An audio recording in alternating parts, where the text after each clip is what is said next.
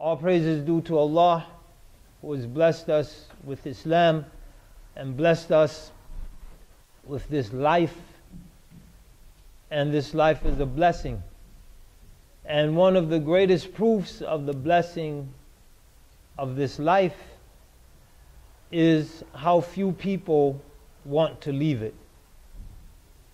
There are very, very few people who are suicidal, who have become so despaired of this life, so disgruntled with this life, so dissatisfied with this life that they will take measures to leave it. That's one of the proofs of the blessing of life itself. Alhamdulillah, all praise is due to Allah. Allah subhanahu wa ta'ala opens His scripture, the Quran, with the surah, the chapter referred to as Al Fatiha, the opening. And this chapter opens up for us not only the rest of the Quran, but it opens up to us the pathway to a successful life. The first, the first thing we need to do or to know to lead a successful life is to know that we have a creator. And the first thing Allah subhanahu wa ta'ala does in His book is He introduces Himself to us. Bismillah Rahman Rahim. In the name of Allah. In the name of Allah or with the name of Allah. Ar-Rahman, the one who is inherently merciful Ar-Rahim, the one who extends that mercy to others. So Allah subhanahu wa ta'ala introduces us himself to us by name. His name, the name of the creator of the heavens and the earth and all between is Allah. Bismillah, in the name of Allah. And then after introducing or informing us of His name, he informs us of his most preponderant attribution. Some people we meet and immediately we know their dominant characteristic.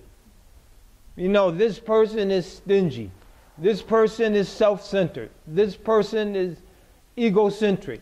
This person is gentle. This person, person is harsh. We know from the initial meeting.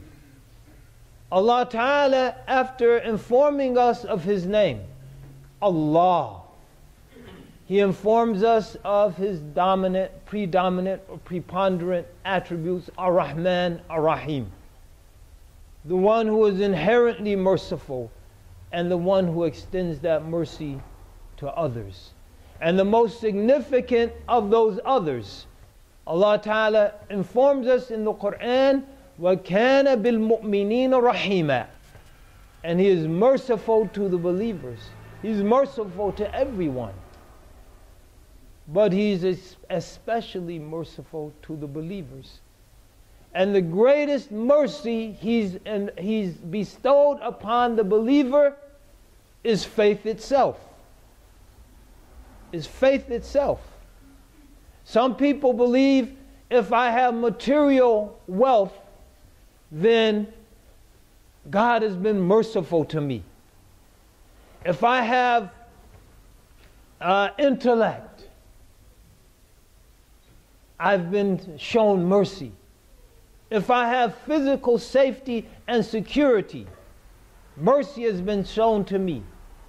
But the greatest manifestation of Allah Ta'ala's mercy, mercy to a human being in this world is the blessing of faith. وَكَانَ بِالْمُؤْمِنِينَ رَحِيمًا Because the blessing of faith makes the absence of everything else bearable. But if a person has no faith, then there's very little that that person can bear the absence of. With no faith, the lack of money becomes unbearable. With no faith, the lack of a spouse becomes unbearable. With no faith, the lack of various material things can in some instances become unbearable. But with faith, real faith and true faith, the lack of a car, a house, a spouse, a job, money, a bank account is all bearable. Because a person finds in his or her relationship with Allah subhanahu wa ta'ala the sweetness of life that makes everything else in life bitter. And the loss or lack of anything that's bitter is bearable. La ilaha illallah. So he informs us of his mercy. And then he informs us of his might. Alhamdulillah. Or before that, he gives us a reason to praise him. He's to be praised because of his mercy. Ar-Rahman Ar-Rahim. Bismillah Rahman Rahim. Alhamdulillah. Allah Ta'ala is praiseworthy because of His mercy. He's praiseworthy for many things, but in this context, because He has manifested His mercy to us, He has manifested His mercy to this creation in establishing balances in everything. He's manifested His mercy, and He's to be praised for that. When we understand the mercy in our lives, as it's been manifested to us in our lives, what is left for us except to say, Alhamdulillah? When we realize how merciful Allah has been to us, He's guided us to faith. He's guided us to a realization of who we are. He's placed no enmity in our hearts based on the teachings of this religion that will lead us to despise or hate another person because of their race or their color or their ethnicity or their origin or their socio-economic status. The Quran doesn't encourage the poor people to envy and rebel against the rich.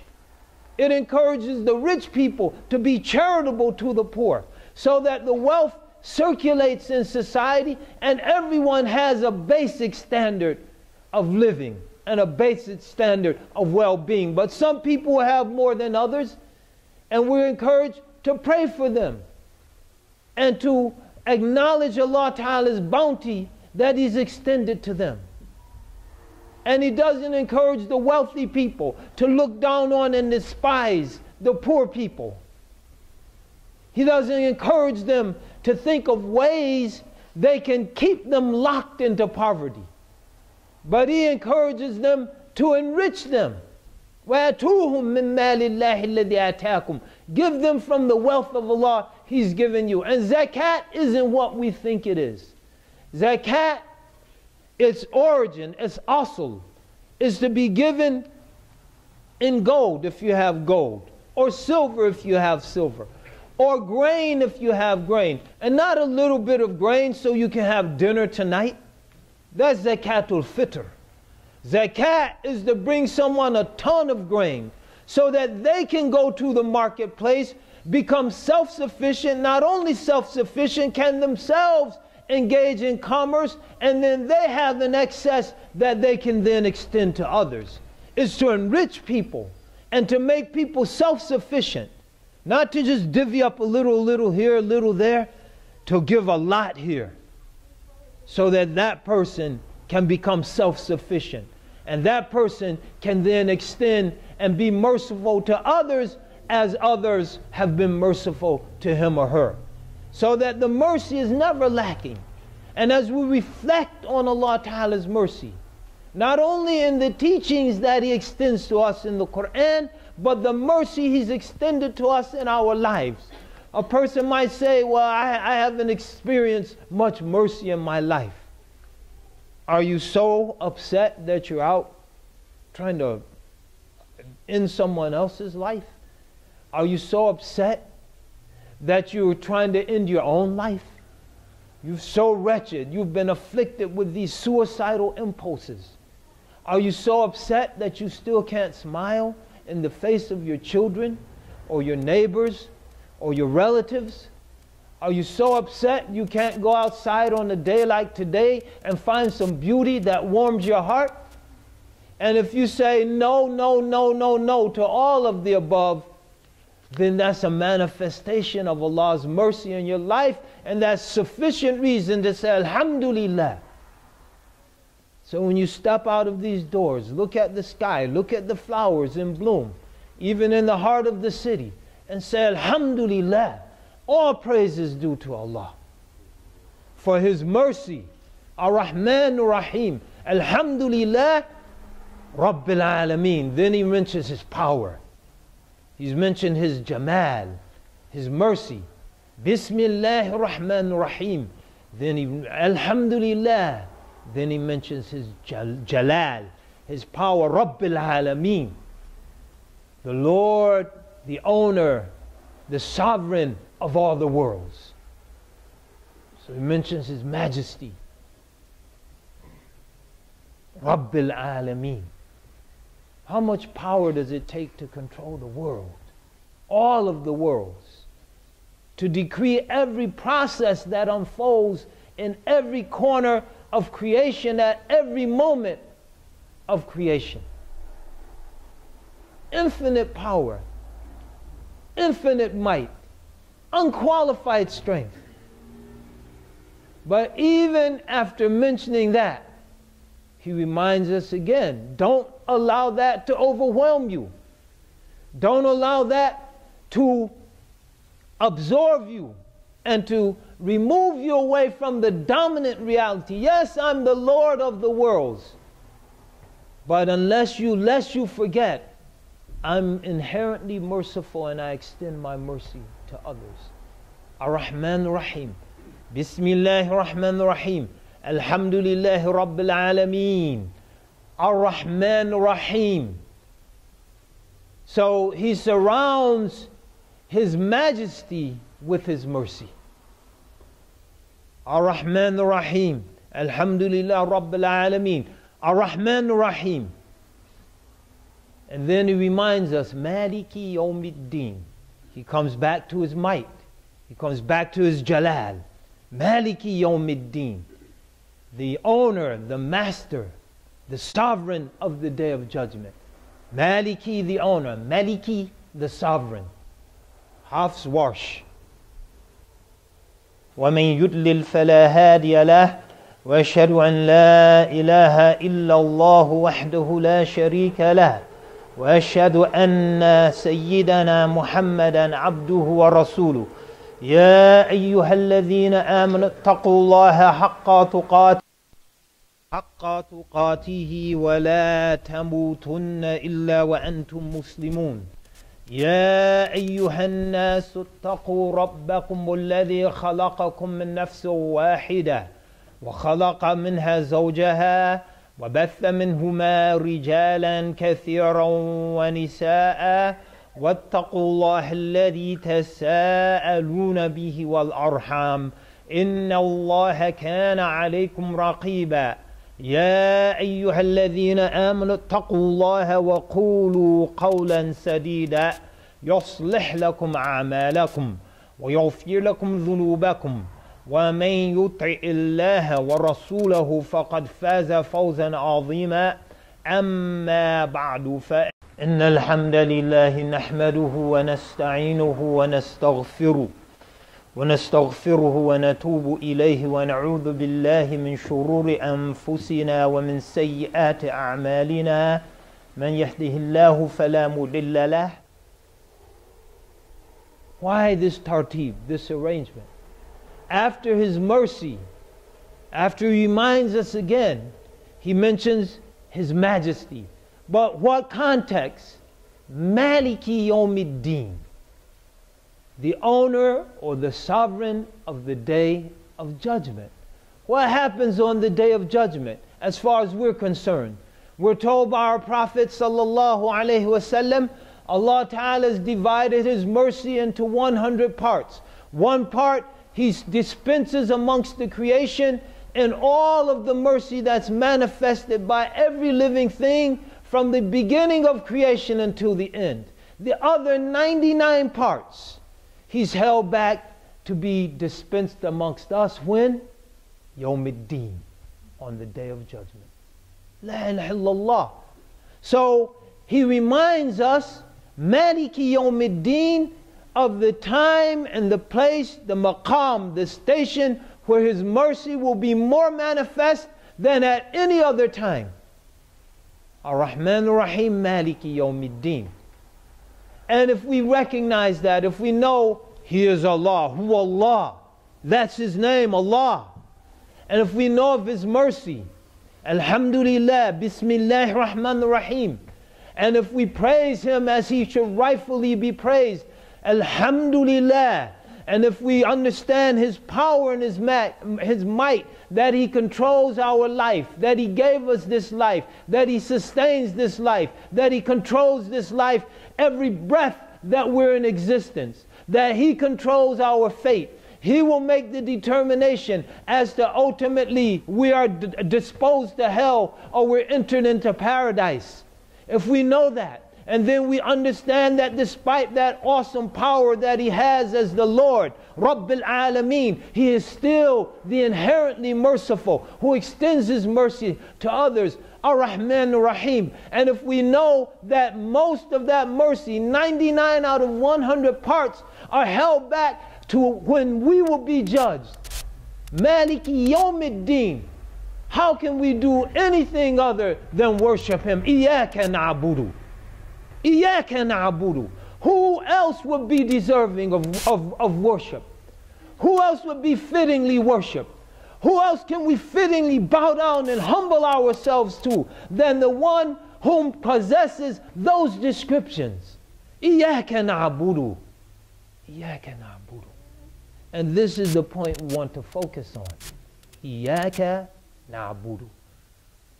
Many who are engaged or have been engaged throughout human history in the philosophical quest. One of the greatest questions that has occupied their minds is what is the purpose of this life? What is the purpose of life? This question has vexed philosophers. It has challenged theologians. But we have a clear, simple, unequivocal answer unequivocal answer. وَمَا خَلَقْتُ الْجِنَّ وَالْإِنسَ إِلَّا لِيَعْبُدُونَ Allah Ta'ala says, I have only created the jinn and the humans that they worship me. The purpose of this life is to worship our Lord. The purpose of this life is to worship our Lord. That's why we're here. And worship is wide, it can be vast. One of our scholars uh, defines mercy. كل ما يحبه الله ويرضاه من من من الاعمال الظاهره والباطنه لا كل ما يحبه الله ويرضاه اللهم صل على رسول الله من من من من اقوال واعمال الظاهره والباطنه everything that Allah loves and is pleased with from our speech and our internal and external actions. That's worship. So, worship isn't just praying, worship isn't just fasting, worship isn't just zakat or charity, worship isn't just going to Hajj. Worship is everything that Allah Ta'ala, that Almighty God loves and is pleased with from our speech, our internal and external actions and our actions are the greatest witness to our speech. يا أيها الذين آمنوا لما تقولون ما لا تفعلون كبر مقتا عند الله أن تقولوا ما لا تفعلون Oh you believers why do you say that which you don't do Hate is, hated is it with Allah that you say that which you don't do Islam is not empty talk so the, the actions are a testimony to the speech. And the speech is a testimony to what's in the heart.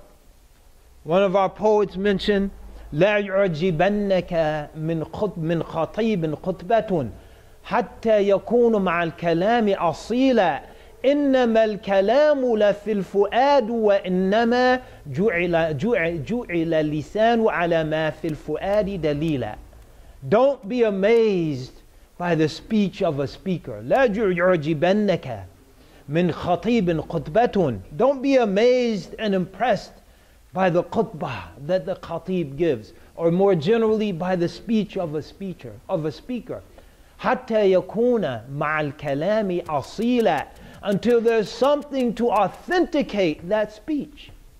إنما الكلام لفي الفؤاد وإنما rather speech resides in the heart and rather جعل اللسان على ما في الفؤاد دليلا the tongue has only been made as an indicator for what's in the heart the tongue has been made as an indicator of what's in the heart and the limbs have been made as an indicator of what's on the tongue and this is why we strive for the total rectification of the human being.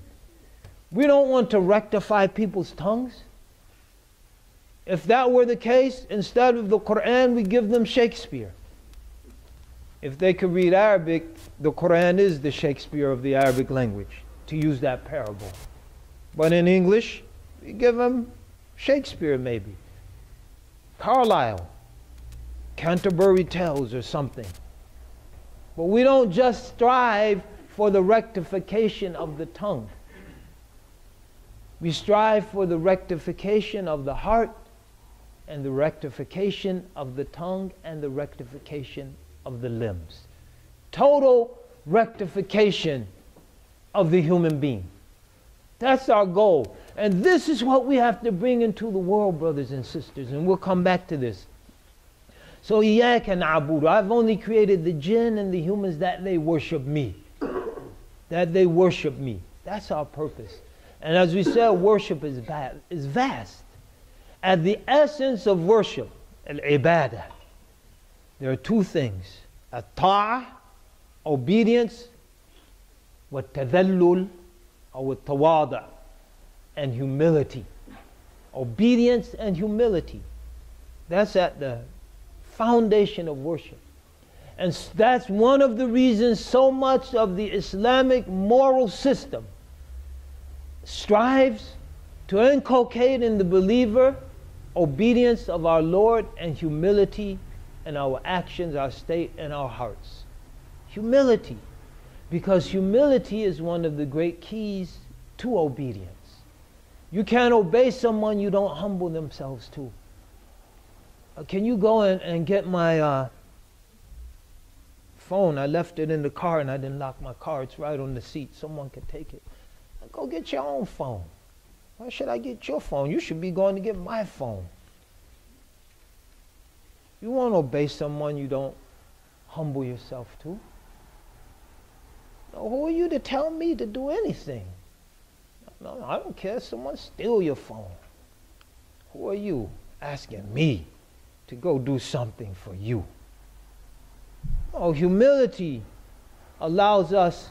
The Prophet sallallahu he's our exemplar. If children asked him to do something, he would go do it. Imam Malik is related that he was in the masjid. He came into the masjid after the congregation had pre- performed asr. In his school, there's no prayer after the congregational prayer until the sun sets. And these students who were waiting for him saw him pray two rakats. And they said, Imam Malik, what's this? You told us there's no prayer after the congregation. The congregation passed, and now we see you praying. He said, That little boy passed. When I passed by, he said, Malik, prostrate yourself. And I reflected on the Quran, the verse that says, And when they're told to prostrate, they prostrate themselves, or they refuse to prostrate. وإذا قيل لهم اركعوا لا يركعون وَيْلٌ يَوْمَئِذٍ لِلْمُكَذِّبِينَ And when it said to them, prostrate yourself, they refused to do so. Hell is for those who belie the truth. So he said, I didn't want to come over the hukah under the ruling of the verse. And where did it come from? A little boy. From a boy. A person who understands the nature of reality doesn't fear humbling himself or herself. Because number one, they understand that's an integral part of me worshiping my Lord. Why are so many people turning away from the worship of God? Because they've arrogated themselves. I don't need religion. That's just old, old fashioned superstition. I don't need that. We're human. I, I have this great mind. Where'd you get it? Why aren't you like a chimpanzee or an orangutan? Especially in the case that you say you evolved from the apes. You say, I'm not saying it. That's what Mr. Intellect says. We evolved from the apes. Why is there such a huge gap between you and the closest ape then? Evolution implies slow change over a long period of time, does it not? We say he, he evolved into an entirely different person. So he didn't wake up one day and bam, he's different. Just slowly went to school, got a job, became more responsible, got married, assumed the responsibilities of marriage, and over time became a whole different person. But it is, it, he, man, he went to, to that boot camp program for one month and it revolutionized him. He, boom, almost overnight, new person. But evolve is slow. So if we slowly evolve from the apes, why is there such a huge gap between us and the apes? How come the best an ape can do is use a stick, all of them, to get some meat out of the nut? And they've been doing that for generation after generation after generation, which is another blessing on humans. Allah Ta'ala has not, eh, not only blessed us with this intellect that nothing else in this creation shares, He's blessed us with the ability to accumulate knowledge. So when we see a cell phone, that's not uh, something that people working for Bill Gates or Steve Jobs came up with. That's, a, that's a result of the accumulation of human knowledge from the beginning of time, which allows us to do what? Not to have to reinvent the wheel. What does someone say? They see you doing something that's already been worked out. Don't reinvent the wheel. That's already been figured out. Let me explain it to you. But every generation of monkeys has to do what? They, you can't say reinvent the wheel. Monkeys haven't gotten to the wheel yet. But they have to use primitive tools, a stick or a stone to break, like their monkey ancestors. Whereas human beings started with the stone and the stick, and now human beings are using invisible digital signals bounced off of satellites hundreds of miles in, in the sky in syn- uh, synchronized Earth orbit. They figured out how to do that, make the satellite stay in the same place over the Earth for years without falling. Based on its own momentum. The satellite doesn't have a rocket that's keeping it moving with the earth is, is based on the gravitational pull of the earth. Bouncing a signal off that satellite so that we can talk right now, if you have the necessary iPhone 4, to someone halfway around the world. And you evolved from an ape. Evolved from an ape. And, beca- and because you evolved from an ape, you've become too arrogant to prostrate yourself to your Lord. Wasallam, Allah Ta'ala has divided His mercy into 100 parts. One part He dispenses amongst the creation and all of the mercy that's manifested by every living thing from the beginning of creation until the end. The other 99 parts He's held back to be dispensed amongst us when? Yawmiddin, on the day of judgment. La ilaha illallah. So why this tartib, this arrangement? After his mercy, after he reminds us again, he mentions his majesty. But what context? Maliki Yawmiddin, the owner or the sovereign of the day of judgment. What happens on the day of judgment as far as we're concerned? We're told by our Prophet sallallahu we're entered into paradise.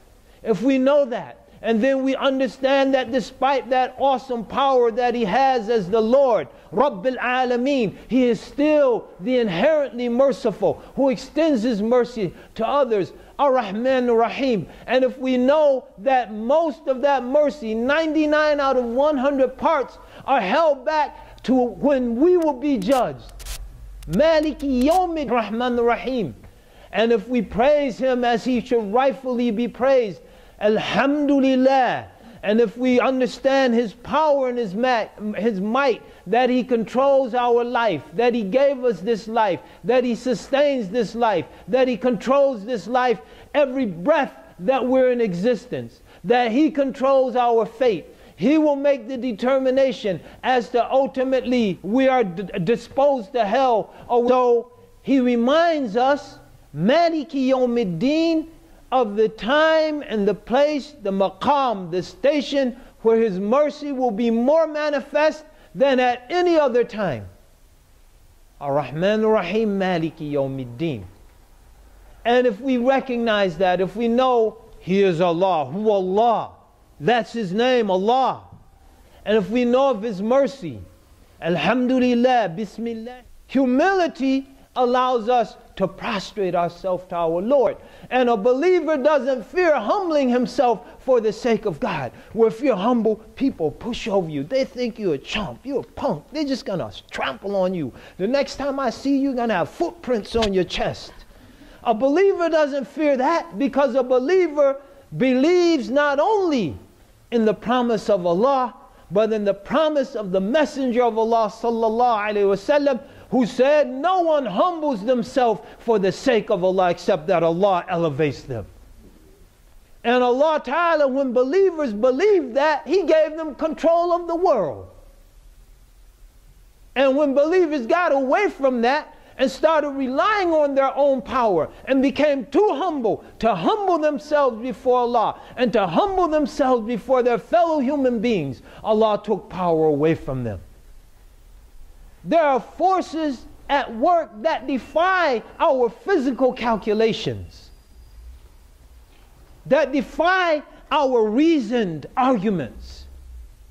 And those are the forces we need to tap into. Because those are the real keys to power and strength, authority and dignity in the world. So, humility, at-tadallul, or we could say tawada, and love, mahabbah. Those are the foundations of worship. Those are the qualities that make iyyaka na'budu a living reality in the heart of the believer. In the interest of time, there was more we want to say. We want to remind myself and you of a few verses that convey to us what Allah loves. Allah Ta'ala says, Inna Allah yuhibbul muhsineen. Allah loves the people who exemplify excellence in all that they do. Inna Allah yuhibbul muhsineen.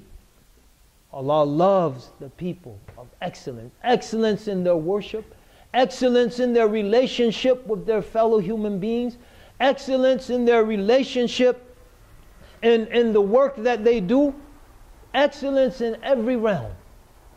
We're encouraged to be people of excellence. إن الله كتب الإحسان على كل شيء. Allah has ordained excellence in everything, as our Prophet informs us, sallallahu alaihi wasallam. And then he goes on to say, if you slaughter, do it in a most excellent fashion. Sharpen your knife and give rest to the animal. Because that animal is going to become part of you. You are what you eat. You are what you eat. And so that animal, and people might say, you know, slaughter, sacrifice, they're filming this, don't they? This is a, a, a concept that's not some crude, uh, barbaric process. This is, again, there are forces at work. An animal wants to be slaughtered when he or she knows they're going to be part of your righteous deeds. They're going to give you fuel to do righteous deeds pleasing to your Lord. This is a reality. And the opposite is also true. So it behooves us to be excellent in everything, from the mundane to the most refined articulation of our religious and ethical principles, to have excellence. Allah Ta'ala mentioned, إِنَّ اللَّهَ يُحِبُّ التَّوَّابِينَ وَيُحِبُّ الْمُتَطَهِّرِينَ Allah loves those who turn to Him in repentance. Allah Ta'ala loves to accept repentance, which means what? Allah Ta'ala isn't concerned with us messing up. Some of us, we mess up, so to speak. Then we're down in the dumps. We get so far down in the dumps, we forget to repent. That's the problem. The problem is not the sin. The problem is the refusal to repent for the sin. Sinning is not good. I'm not saying it's, but it's not an inherent problem. Sinning will not put you in hell unless you fail to repent from the sin. And sincere repentance vows to never return. So perhaps if you keep falling and falling and falling into the sin, maybe you're not sincere in the conditions of repentance. But the sin will not ruin you. The failure to repent will ruin you. For that reason, Allah loves those who repent. So he then say, إِنَّ اللَّهَ يُحِبُّ مَنْ تَخَلَّصَ مِنَ الذُّنُوبِ Allah loves those who are free from sin. No, Allah loves those who turn to Him in repentance. وَيُحِبُّ الْمُتَطَهِرِينَ And He loves those who keep themselves pure. Pure in their dress, pure in their thoughts, pure in their actions, pure in their speech. And we've said many times that's why we don't imitate the speech of vile, profane people. It's not fitting a Muslim to walk around with profanity coming out of his or her mouth. Because why? These are not pure. Even if you say, well, the meanings change, it's not pure in its origin. And we always look at the origin of, fear, of, of things. And what were they intended for? Its, a, its original intent was vulgar. And that vulgarity affects people. There was a young lady, some of you might have heard her, uh, a spoken word artist who does poetry. And she says to, she said, but in poetic form, I'm summarizing what she said. She says, funny how the young men in our community acted with a, a lot more maturity and self respect and respect for others when they called each other my man, as opposed to calling each other my boy and my dog. Think about it. You are what you eat. We don't eat just eat physical food, we eat messages. When I was growing up, you say, yo, what's up, my man? My man, my man, my man. My man. Now I hear the young folks, my boy, what's up, my boy? What's up, my dog? What's up, my nigga? And we wonder why we got problems. You are what you eat. And the food is not just physical food. Purity of speech, purity of thought. We're not just purity of clothing, not extravagant clothing. What we have should be pure. We don't want pig in it. We don't want something that's stolen. I'm looking good in my stolen goods. No, you're not. You're looking wretched. Because your good looking stolen goods testify to the wretchedness of your character. And if you were internally sound, you look good in whatever you wore. It might have holes and patches on it. Your internal beauty would beautify it. Man, you look good. So you inherit them clothes from your grandparents? They sure look good on you. La ilaha illallah. Inna Allah yuhibbul muhsinin. Inna Allah yuhibbul tawabin wa yuhibbul mutatahirin. He loves those who are pure. Inna Allah yuhibbul muttaqin. He loves those who are mindful of his commandments and prohibitions. We should be mindful. And that should weigh on us. It should impact our character. Am I keeping myself within the parameters Allah Ta'ala's established. Almighty God's established for my actions. That's the challenge for a human being. That's what dignifies a human being. That's what humanizes a human being. It's not just let it all hang out that humanizes us. You don't even find animals that just let it all hang out, unless they're rabid or something. They have rabies and have lost their faculties. Animals have restraint. They won't even fight each other to the death. So one animal gets the other one down, the other one gets up and goes off, say, Well, I'm not encroaching on this territory. But the animal doesn't come kick him and gore him until he's dead. You don't find that in the animal kingdom. You find it in the zoo. You find it in an artificial environment. And to a certain extent, we all live in a human zoo, which makes it especially critical for us to consciously rise above our circumstances by holding on to what our Lord has given us to hold on to. Hold fast to the rope of Allah, which is the Quran, and don't be divided amongst yourselves. These are, these are the people Allah loves. Wallahu yuhibbu sabirin. Allah loves those who are patient. Patience is a virtue. That's what all of us heard that. Even those of us who didn't grow up Muslim. Patience is a virtue, our parents would tell us. We read in the books. Patience is a virtue. It's a virtue because patience, again, is one of those found, foundational traits that is a key to a successful life. You might not get it today, you might not get it tomorrow, but if you live right and you do right, sooner or later you're going to get it if it's good. If it's good and worth having, you're going to get it. But sometimes it takes patience. Because Allah Ta'ala, in many instances, He doesn't give it to us right away because He sees do we really want it? Do we really value it? Do we really cherish it? Do we have a real desire for it? Allah Ta'ala will test us. As we said, words are empty. I really want this. Okay, how long are you willing to wait for it? Uh, two weeks? You don't want it too bad. Your words are false. If you really wanted it, you'd be willing to wait for it. You'd be willing to wait a lifetime for it. How long did Nuh salam wait for the rectification of his people? He didn't write them off in two weeks. I made dawah, they didn't respond, forget them, Allah destroy them. 900 years. He waited 900 years for the rectification of his people. That's patience. How long did Ibrahim salam wait for a child? He waited 80 years. No, I married the sister and we've been married six months. She's not pregnant yet, man. I gotta, you know, I, I gotta get a mother, you know. She, six months. How long did Ibrahim salam wait? 80 years. 80 years. That's patience. We have to really look at the standards that Allah Ta'ala has given us to measure ourselves by.